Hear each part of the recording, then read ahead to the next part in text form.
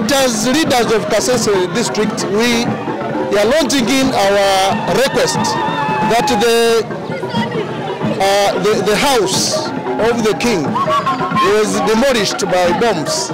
Uh, the vehicle was shot at uh, uh, was shot at several times.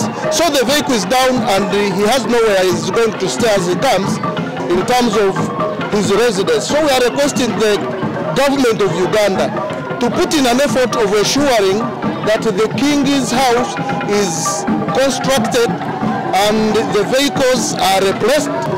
As the Central Division, the community is very excited and very happy with that uh, decision. Thank our president for the decision that has been taken to release our king Musinga wa Businga wa Rwenzururu and those who were already in jail concerning the same case that uh, had made the Musinga be held in jail for all this long time. We are so happy and we appreciate the judiciary of, of Uganda and the government of Uganda for being fair to our people and releasing our king and his subjects. Mood in Kasese is jubilation.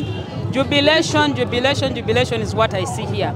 And I am glad that the people are not asking questions how, why. All they are concerned with is the freedom of our people and our king.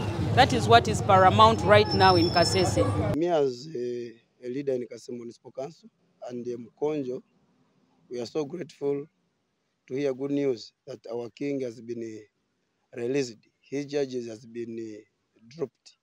In fact, uh, us as the Bakonjo, Kasese municipality, in the, in the entire district, and the whole world at large, because Bakonjo are in different places, in Congo, in Cameroon, Botswana, wherever they are. We are so grateful to hear that uh, our king has been released. For that, we thank the government, most especially Yoweri Kaguta Museveni, His Excellency President of the Republic of Uganda, for having uh, that sympathy of thinking of our and releasing our king. We are so happy, we are so happy. In fact, we are hopeful that even if need be, should even come in Kasese come next week. We are so happy and we shall warmly welcome him.